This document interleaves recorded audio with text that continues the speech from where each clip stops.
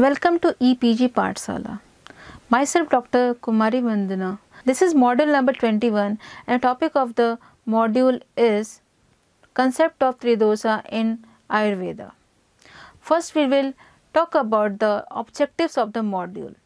Firstly, uh, we will uh, start with the broad objectives of this module which includes the introduction, physiological perspective of Tridosha. Third is the divisions of Tridosha, applied aspects of Tridosha and finally the summary. First we will start with the introduction. Ayurveda. Ayurveda is referred as science of life because the Sanskrit meaning of the word Ayush is life and the Veda is science or knowledge. The Ayurvedic philosophy, which has its roots in the Vedas, the oldest written literature in the world, which tells us how life in, in its totality can be understood. It is not just a system of medicine in the conventional sense of treating disease, but it is a way of life that teaches us how to maintain and protect health. It shows us both how to cure diseases and how to promote longevity. Ayurveda treats man as a whole, which is a combination of body, mind, and soul, in contrast to the Western medicine, which is based more on structures and reduces everything to fundamental unit of matter, which is generally referred as reductionist approach.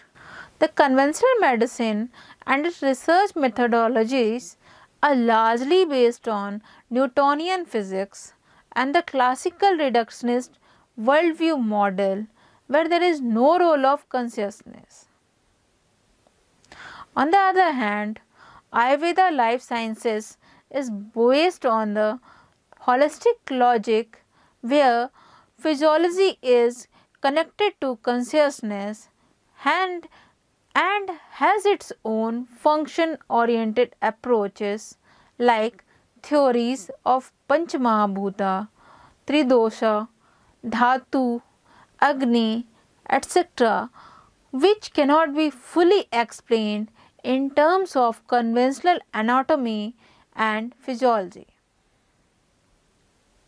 The fundamental basis of Ayurveda are found in ancient Indian treatises on the physical and metaphysical aspects of the universe which are called as darsanas.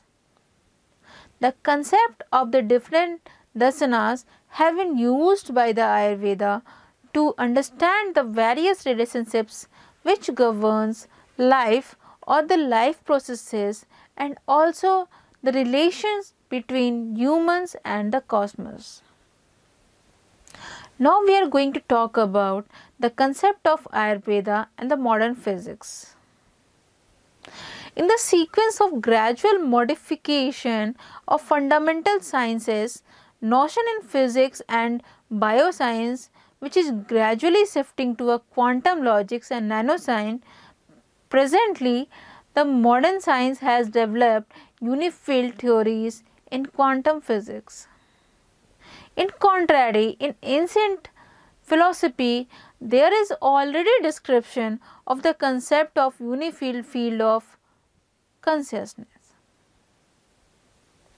In Indian metaphysics, man is a microcosm of the universe, the macrocosm that he inhabits.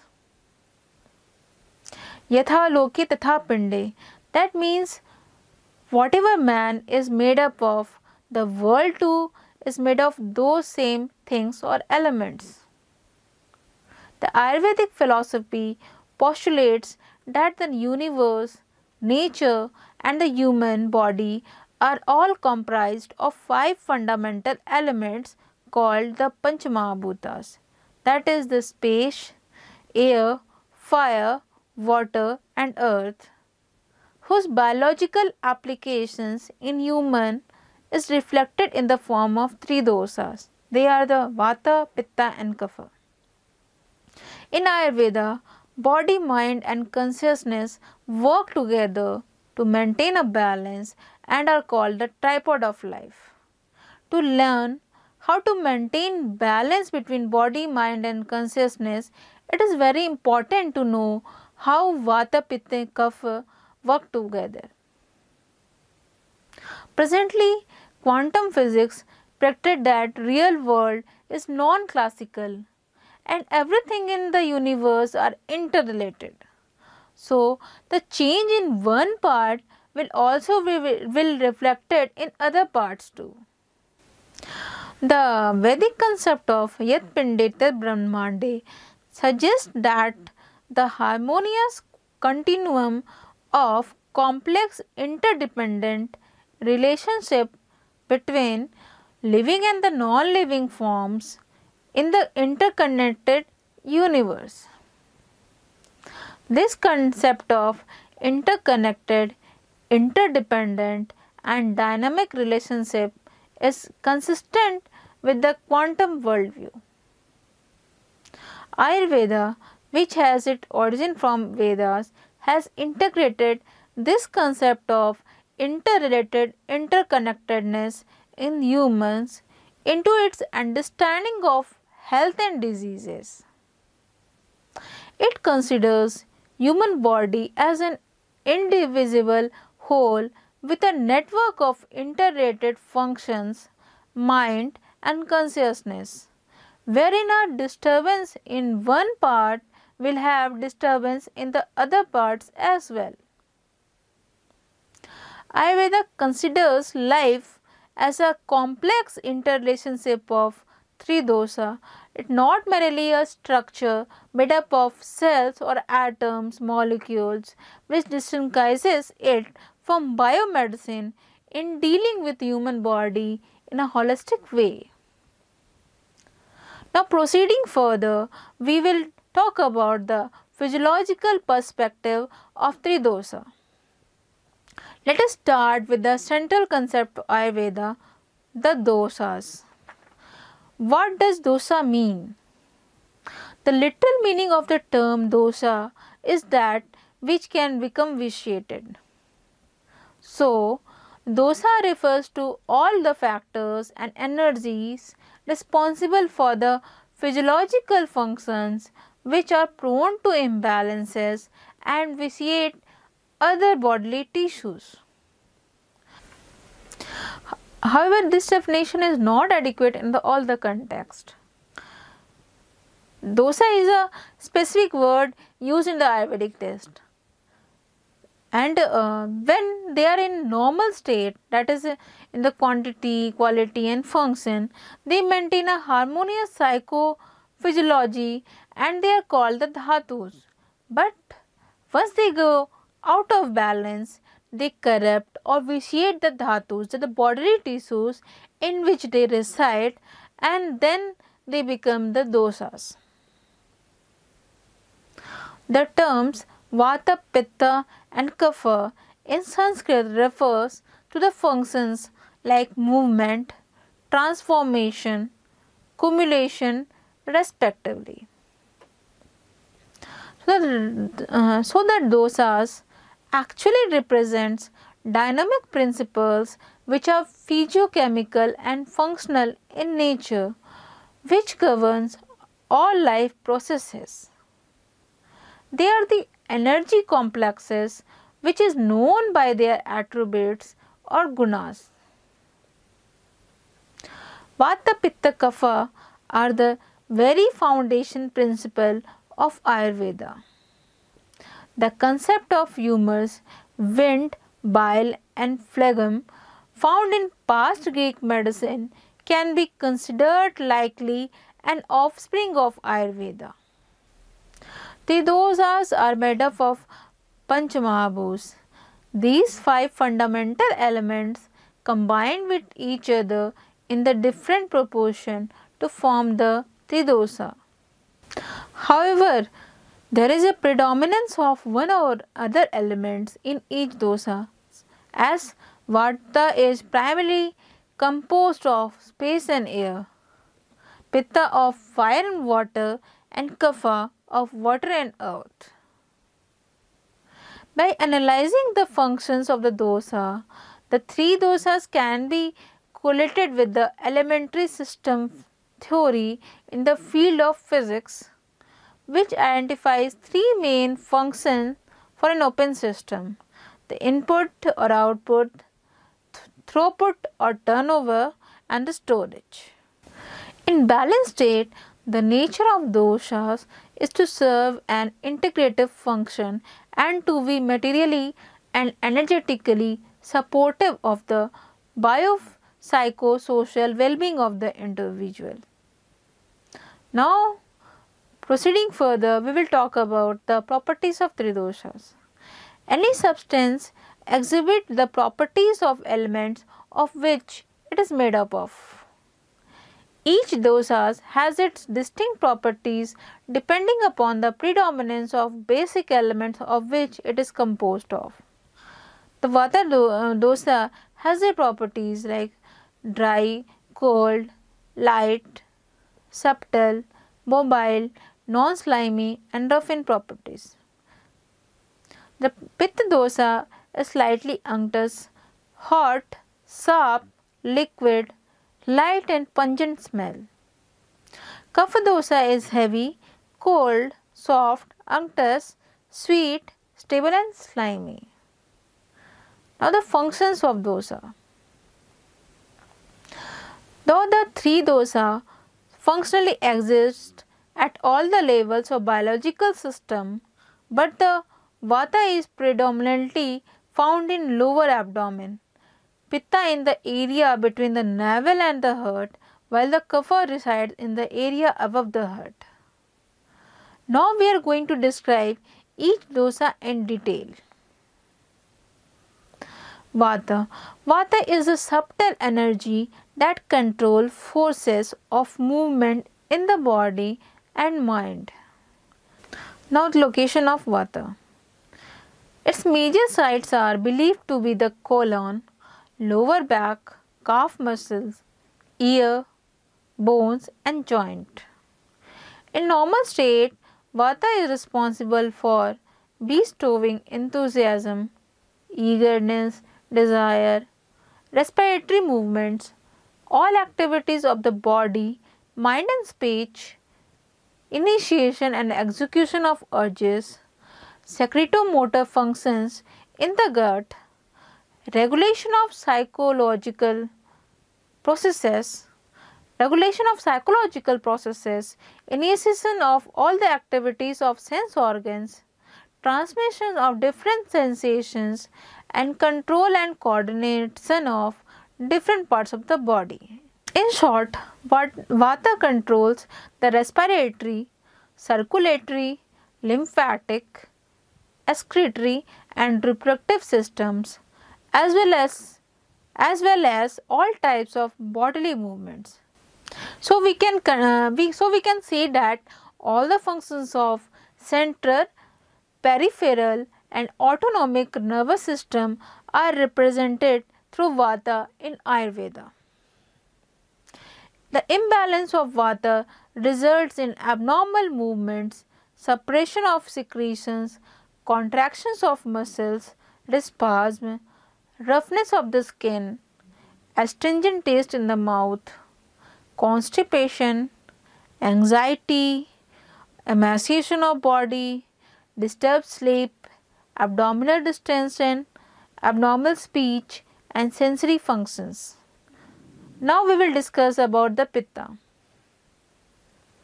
The location of pitta. The major sites of pitta are believed to be the stomach, duodenum, liver, spleen, pancreas, heart, eyes and skin.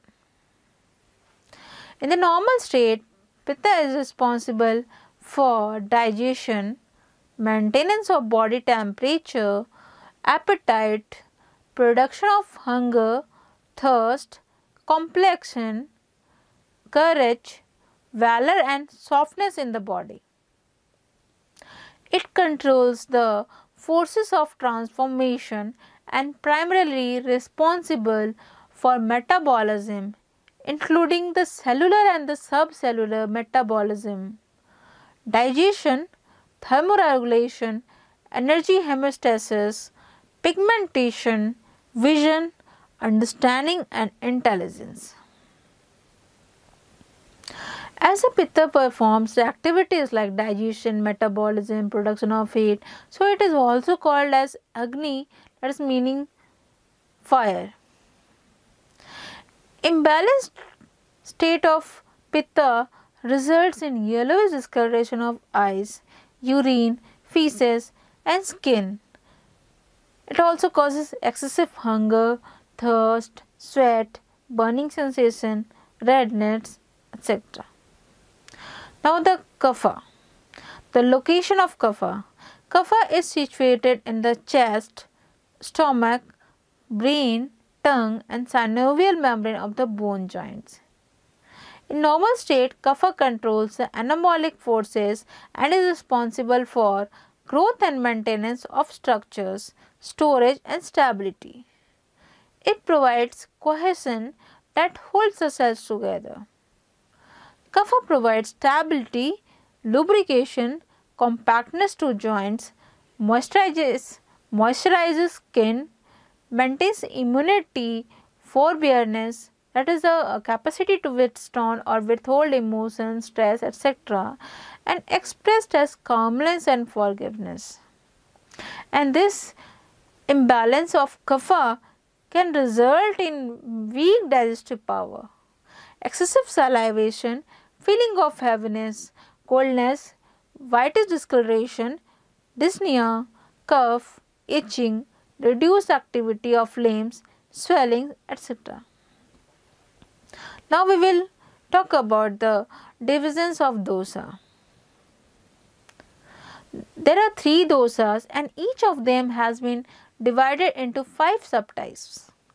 Each subsystem has a leader as Pranvat controls other vatas, Pachak Pitta controls other pittas and the Avlambak Kaph controls other kaphas. First, we will talk about the subdivisions of Vata. The five types of Vata and their functions are as follows. Pranvata. It is situated in head and is responsible for controlling intellectual functions, cardiovascular functions, sense organs, psychological activities, respiration, and reflex activities like sneezing, belching, deglutition, etc. Second is the Udan Vata. Its active site is in chest region and it is primarily response and it is primarily responsible for production of speech. The effort and strength required for speech production are also the function of udana. It also helps in recalling the vocabulary required for well articulated speech. Now, the Vyanvata. The active site of Vyanvata is heart.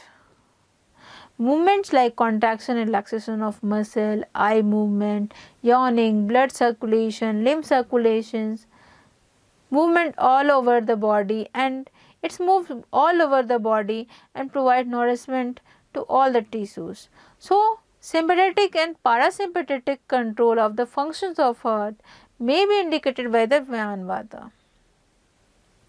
Now the Sam Samanvata. The uh, active site of Samanvat is adjacent to the gastrointestinal tract. It performs the functions like receiving food, digestion through the activation of Agni, separations of nutrient and wastes, and its onward propulsion. The described functions are either those of parasympathetic nervous systems supplying the gut or those of the enteric nervous system. Now the Apanvata. Its active site is the pelvic region. Apana controls excretory processes like micturition, defecation, menstruation, ejaculation and its aid in the expulsion of fetus. The autonomic nervous system might be considered to have role in most of these activities. The uh, description of the five vatas has been presented. First is the pranvata. It maintains intellect, sense organs, heart, mind, breathing, expectorations. It controls the action of other vatas. Second is the Udan Vata. It controls activities, strength, discriminations. It nourishes bodily tissues. It is responsible for consciousness. Third is the Vyan Vata.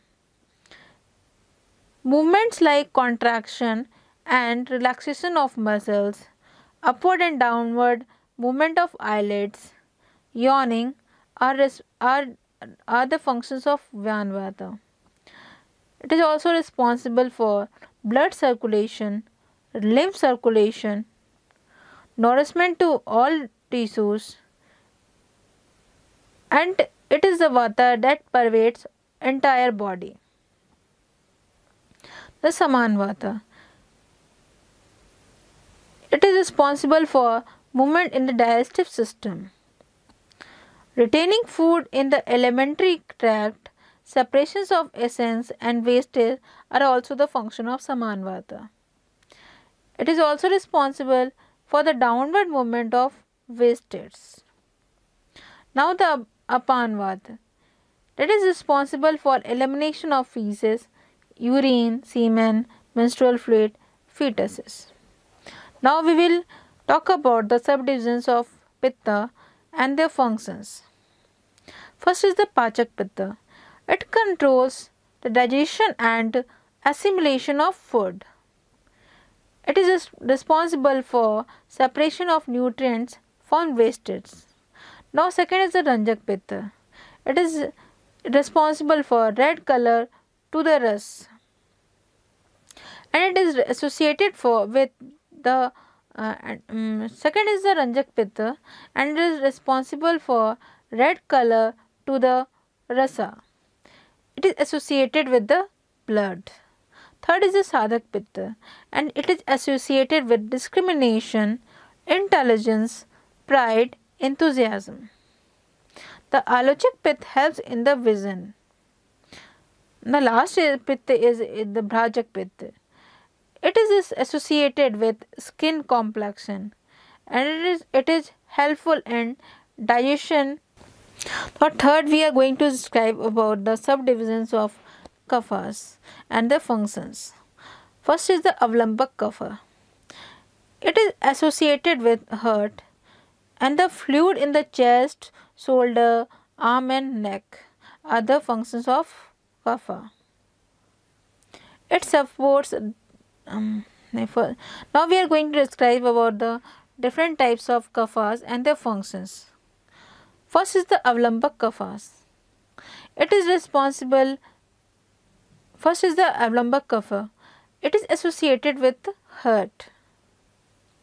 The fluid in the chest, shoulder, arm and neck are because of the avlambak kapha. This kapha supports other kaphas also. Second is the Kledak kapha. It controls the lubrication of food in the digestive process.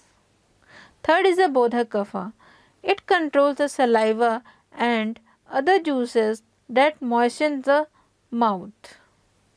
The taste perception is also because of the Bodhak kapha. Third is the Tarpak kapha. It is associated with fluids in the head and it is responsible for nourishment of the senses. The last is the Shleshak kapha and it is responsible for lubrication of joints in the body. Now uh, we are going to describe about the five types of pittas and their functions which are as follows. The first is the Pachak pitta. The function of Pachak pitta is equivalent to the Jatharagni that is the metabolic fire. Its function suggests that the enzymes responsible for digestion along with all the gastrointestinal hormones and the all local hormones of the GIT can be included in it. The second is the Ranjak Pitta. Its major sites is believed to be stomach, liver and spleen and it is responsible for synthesis of rakta that is blood. The Brajak Pitta. It is believed to be situated in the skin. As we know, the pigmentation of skin is under the control of the hormones like ACTH and MSH from the anterior pituitary and some local enzymes in the skin is responsible for the metabolism of certain drugs applied topically. So, Brajak Pitta can be considered to include these enzymes along with the hormones controlling pigmentation. The Sadhak Pitta. It is believed to be located in the heart, but all the functions ascribed to this Pitta are of cerebrum, limbic system, hypothalamus and other structure of CNS. The Alochak Pitta. Its major site is to be believed mm, Alochak Pitta. It, its major site is believed to be the eyes and responsible for normal vision. The photosensitive chemicals in the eyes called the photopigments and the whole process involved in photochemistry of vision along with the neurotransmitter in, involved in the visual pathway, pathway can be represented by the alochak pitta. Now we are going to uh, just uh, understand the five types of uh, kaphas. First is the avlambak kapha. Ah. It is situated in the thorax and it protects the thoracic region and other vital structures like heart, through which it is called ambukarma, referring to the humidification. Other anatomical sites where other types of kapha are situated also are dependent on this. The ambukarma can be referred as the lymphatic drainage. Now the Kledak kapha. It is present in the stomach and moistens the ingested food. The mucus secreted in the stomach provide protection to mucous membrane of the stomach along with the providing liquid medium for digestive process. The gut associated lymphoid tissues also plays important role in protection by preventing the entry of microbes through the gut. Acid secreted in stomach also provides innate immunity to some extent. All these functions can be applied under the Kledak kapha. Now there is the kapha.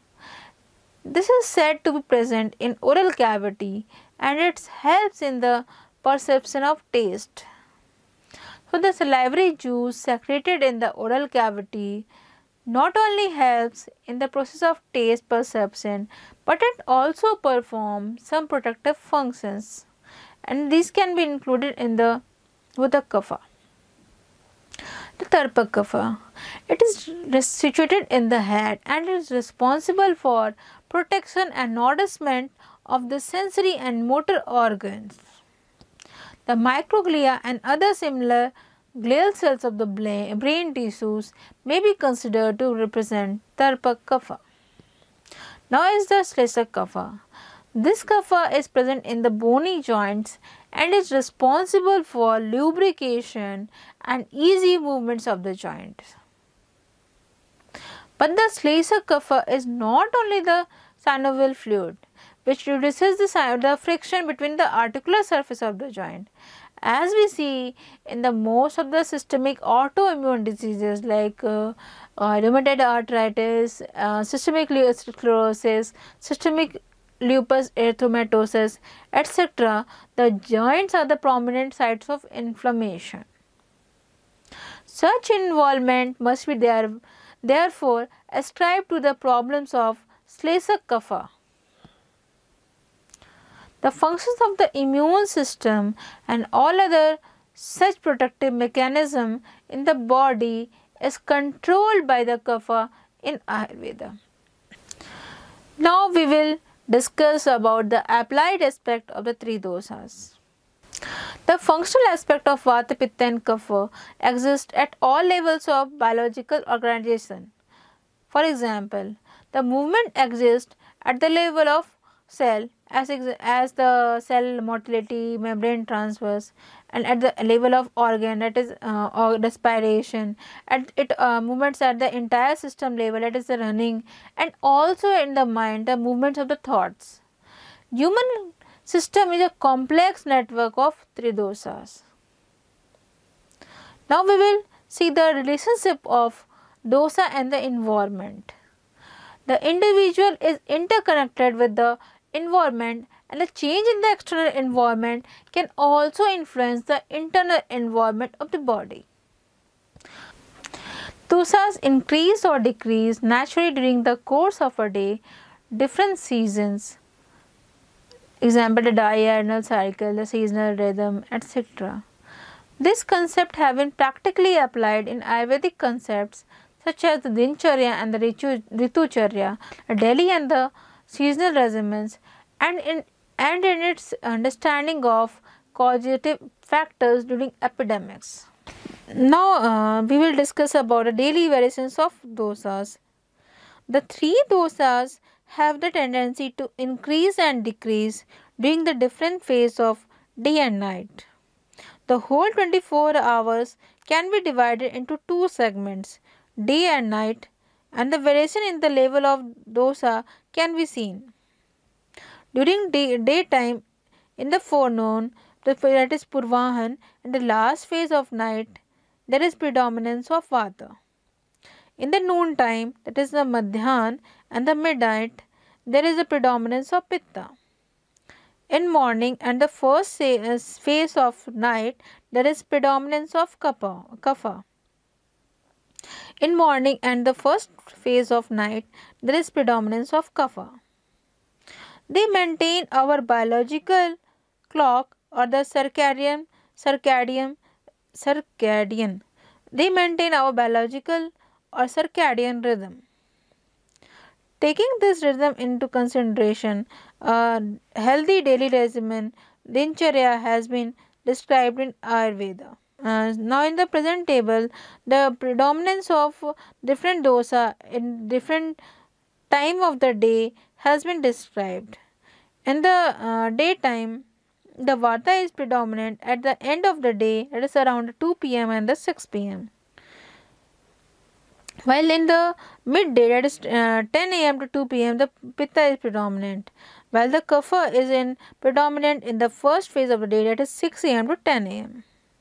During the night uh, time, and vata is predominant vata is predominant in the end of the night that is the 2 am see 2 am to 6 am while the pitta is is predominant in the midnight that is from 10 pm to 2 am and uh, kapha is uh, more predominant at the first phase of night that is the 6 pm to 10 am now we will discuss about the tridosa and the seasons now we will talk about the three, dosa, three dosas and the seasons as the human body is a part of this ecosystem, it is influenced by the changes in the environment with the seasons.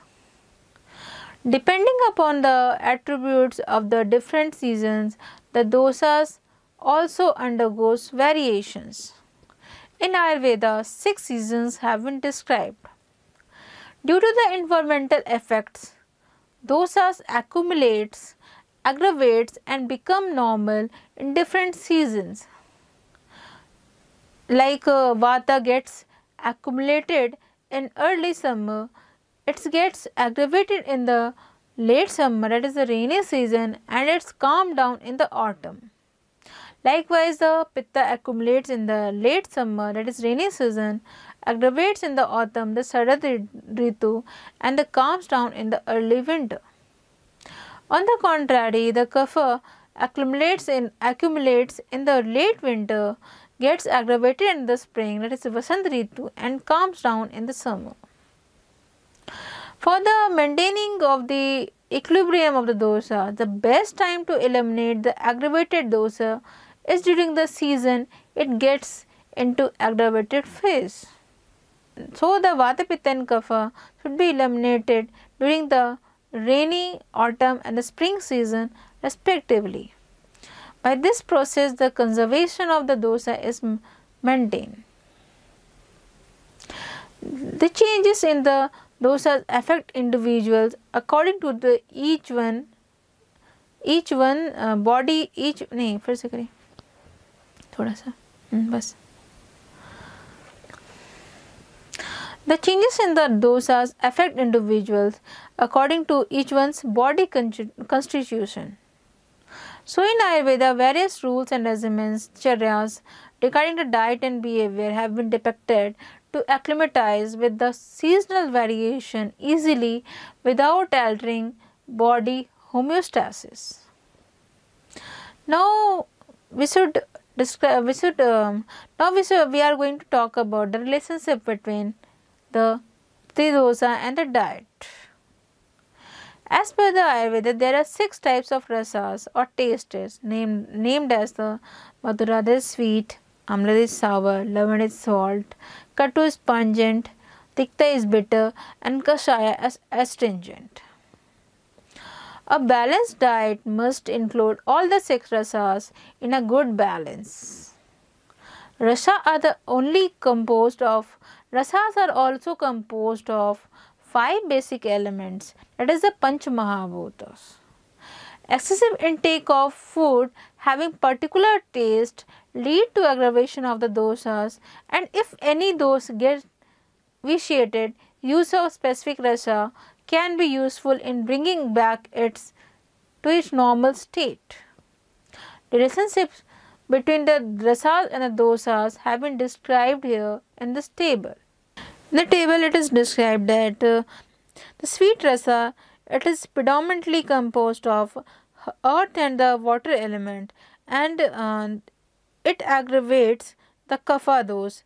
Mm, it aggravates the kapha dose and dosa decreased by intake of this uh, sweet taste is pitta and vata.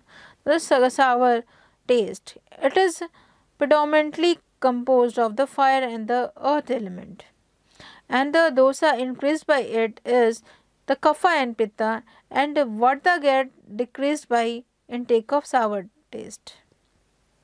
The uh, salt taste uh, it is mainly com uh, composed of the water and the fire element and the kapha and pitta get increased by excess intake of the salt rasa and the vata get decreased.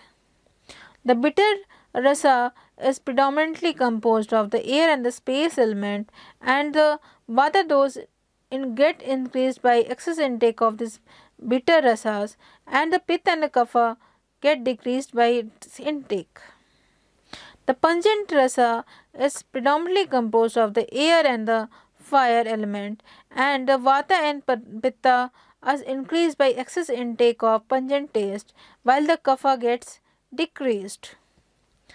Astringent taste is predominantly composed of air and the uh, earth element and the kapha and vata dosas gets aggravated by excess intake of the astringent taste while the uh, pitta gas gets decreased by uh, its intake. Now we will talk about the role of Tridosha in health and disease.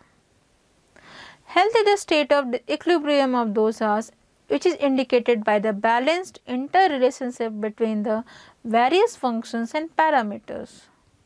When the original balance of the dosa is disturbed or when they are aggravated by internal or external factors, there is alteration in their expression either qualitatively, quantitatively or functionally which leads to their disequilibrium for the individual.